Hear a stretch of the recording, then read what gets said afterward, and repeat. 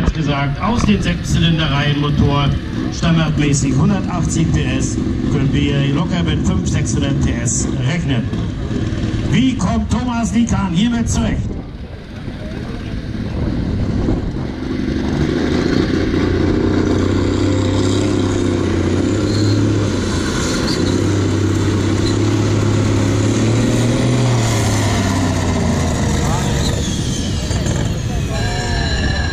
Nicht die Kupplung im Eimer.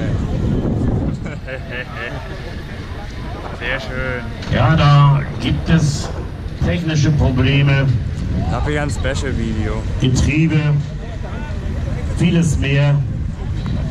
Kupplung. Die Gummikupplung.